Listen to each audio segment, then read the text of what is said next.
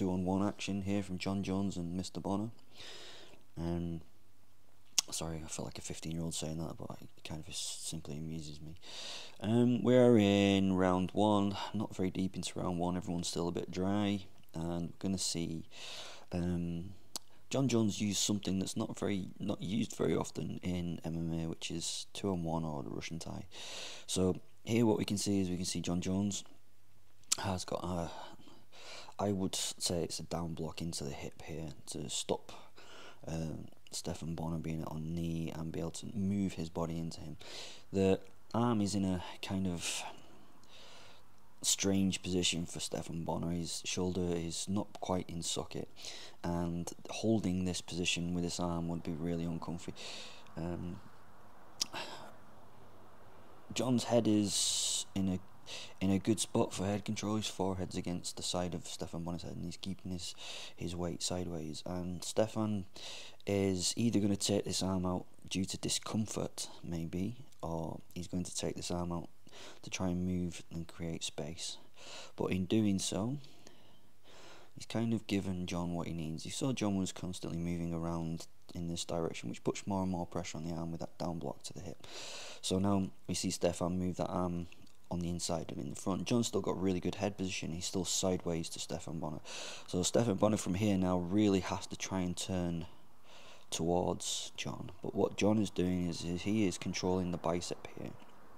So he's got inside bicep control, which means that although he's lost his head control here, Stephan's managed to lose his head, move his head into a better stage of Stephan, Stephan control, head control.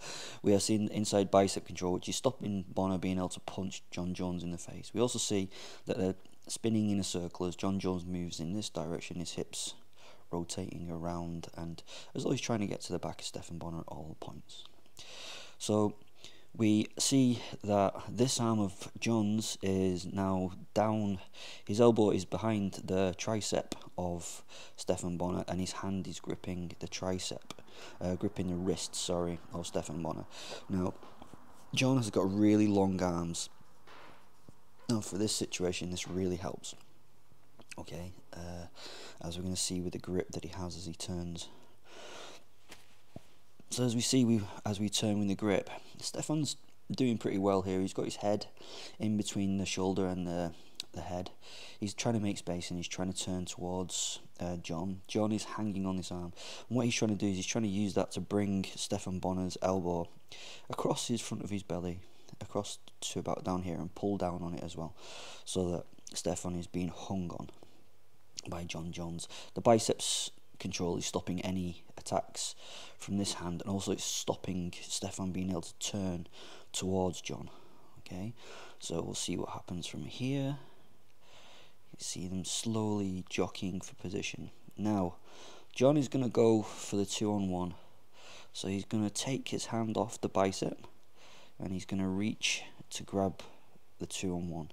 Now, initially, he grabs the glove, which is cheating, and he's palm up there.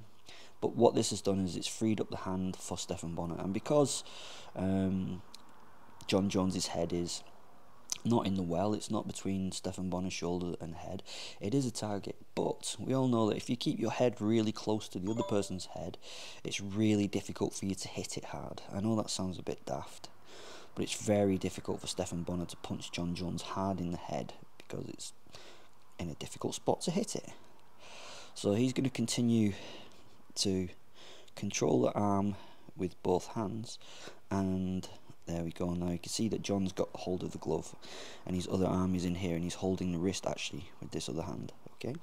So it's a different kind of two on one that we we would see normally. Uh, with a shorter fighter normally this hand would be underneath the armpit the elbow would be underneath the armpit and we would be lifting that up. But with Jon's build he can actually go underneath the tricep and get hold of the wrist. Absolutely fantastic. Hope you can get to see it in a bit. So, we see Stephan with his head position give a couple of digs to Jon, and we see Jon start to stretch the arm across the body. We've seen Stephan pummel out and control Jon Jones's wrist. Okay, at this moment, Jon's in a bit of danger. You can see this fist is going to come in, and we're going to see him get a couple of digs. Bunk. But what that allows him to do is to get his head into a safer spot. And if you see here, he's going to do Aikido. Uh, the thumb and the fingers, so the fingers are here, the thumb is here, so the gap for him to twist his arm out of is facing downward at the moment. So all he's going to do is he's going to rotate his hand out of that. See how he just really easily rotated his hand out of that. Yeah, and it was a rotation of the wrist. If you imagine that the wrist is flat and the thumb and finger are trying to hold the edges of it, if you if you look at your wrist, it is kind of fatter if you look down on it than if you look at the side of it. It means that you can slice that wrist out between the finger and thumb, and that's what he does. And then he goes up and he grabs the wrist of Stephan. Now Stephan is doing his damned best to try and get his head back on the inside of Jon's head. That's the only way that he's going to be able to turn back to Jon. But Jon is also past this elbow, so this elbow is actually now on his right pec. So Stephan is not going to be able to turn towards him. It's beautiful control, and even in MMA, it means that Stephan really can't do very much. So he goes to try and control the head, which actually means that Jon Jones can actually take the arm further across his body. And as he steps into the control zone, at first there was the possibility of the sweep. So he could have taken the leg that's next to his foot and been able to sweep on the inside of that. He doesn't do that initially, he's still controlling the arm, but he's gone into Stephan's control zone he steps his other foot up into the control zone, and what he's going to do now is he's going to step by Stephan's right foot, and now he's going to look for a step in sweep. So he's going to try and reap that leg, or he's going to try and sweep that leg with the knee and drive the arm through to try and get Stephan to fall. What's actually happened is though he's ended up offsetting Stephan Bonnar. So Stephan's managed to step his foot out and catch his balance. But all his weight, because of the positioning of the arm here, all his weight now is torsioned over in this direction. So he's completely offset, falling in this direction. What this is going to allow Jon to do is take this arm out from underneath the armpit and be able to reach for the hip. In fact, he's already done that. So he's going to take the arm out and he's going to reach for the hip as he's offset Stephan Bonnar and he reaches for the double leg. Okay, he manages to get around the knees and just because of Stephan Bonnar's momentum, Stephan slips out with the rubber leg. So the fact that Stephan's entire back is towards Jon Jones and that his uh, foot is pointing in this direction means that he can slide his leg out. Uh, Jon really needs to be in a tripod position with his shoulder pinning the back of the knee at this point. He doesn't manage to do that, but he does manage to use his athleticism to get back in control. Yeah, so I I really like this because you never never really see the two on one used very much in MMA, and here it's used very well. Um, I think it's got a lot to do with um, Jon Jones's build, but um, he uses it effectively, and he also uses it effectively against Daniel Cormier, which I'll I'll look at in this as well. Okay, let's have a look at the next bit. Okay, we're in the Daniel Cormier uh, first fight now. Um, Jon Jones is going to again go to this two on one to control Daniel Cormier, I, who I must admit is a fantastic wrestler, but is knackered at this point. So I don't think he's up to his usual level of wrestling. So we're seeing them have a, a, a, grapple, and we see Daniel try to pummel under for the underhook. So we see him try and pummel under for the underhook. Now, Jon has managed to reach across and grab the wrist of Daniel, and he's also gone underneath the elbow to push the elbow across. He's got really nice head control. Even though he's the taller person, his head is stopping. Um, Daniel being able to get anywhere in underneath the hips here. So now we can see the hand of Jon Jones collecting the wrist of Daniel Cormier. This is a high underhook. Uh, Daniel works a lot of body locks and stuff when he's um, upper body clinch wrestling and taking down.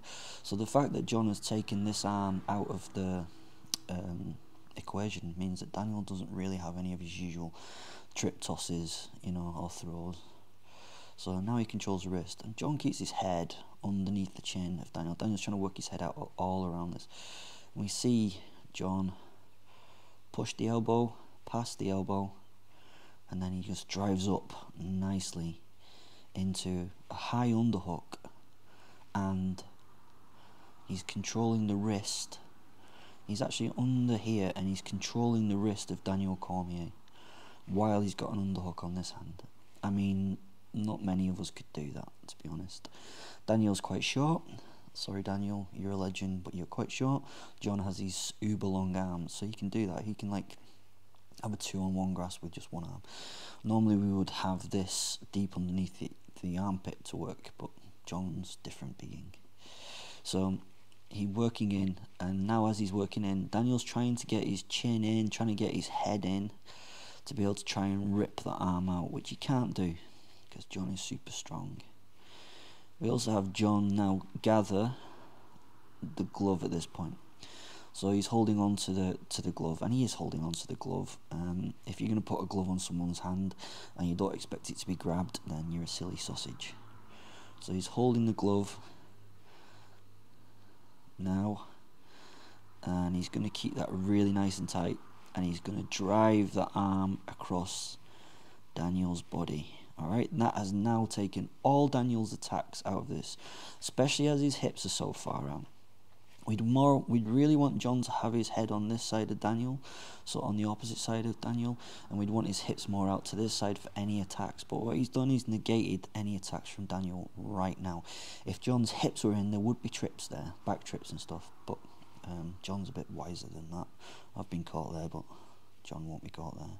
So now what he does from this position is he's going to nicely give a, a jaw shaking shoulder, and then he's just going to take Daniel slowly to the cage. And Daniel cannot get his hips offline, he can't get his back off the cage, he can't do anything as long as Jon has this level of control, and now he's using his height against Daniel with this two on one. His shoulder is underneath the jaw, and he's compressing the head into here. He's compressing the shoulder onto the body. Daniel is in all sorts of trouble. There's no attacks from here, and he can't escape out. So, Jon can just sit here and knee until he decides to change his attack. And as we see, he's now slowly working out to changing tack. But I mean, this is amazing. This is underneath the shoulder, and then his hand is grasping the wrist, and he's pushing the arm across with one arm. Absolutely beautiful work. Um, and as I say, I, I don't see many wrestlers. There are a few. I don't see many wrestlers using the two on one in MMA. It's quite a scary thing to do because you're leaving one arm free because you've got both arms on the other arm.